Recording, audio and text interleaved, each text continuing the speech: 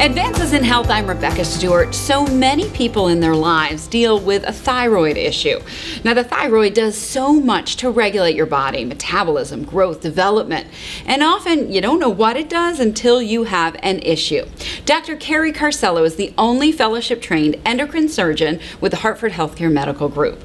So, thank you so much for being with us. Thank you for having me. Take us through when does someone know I have a thyroid issue? There's a lot of different thyroid issues, and some of those re- require surgical intervention, and some maybe just medical.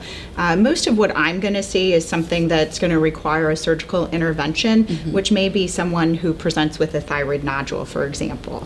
What are the kinds of symptoms? So, if somebody has a nodule, how scared are they typically?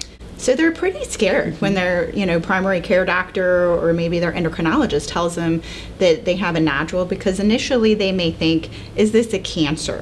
Um, and in all of honesty, the majority of thyroid nodules are benign, up to 95% of the time. Okay, great. Um, sometimes, though, we need to evaluate them further um, based on the features that we see. Usually, patients will end up getting an ultrasound, mm-hmm. Um, and based on those features and maybe the size of the nodule, sometimes we'll need to do a biopsy to get more information because there are about 5% of the time that people will have a thyroid cancer. And we were talking that there is annual surveillance surveillance, but people do really well after this. The prognosis for the majority of thyroid cancers, you know, papillary thyroid cancer and follicular thyroid cancer, the five year survival rate is 98%. So they do have an excellent prognosis in most situations. All right, wonderful. Thank you so much, Dr. Carrie Carsello. If you'd like to learn more information, head to WTNH.com slash advances in health.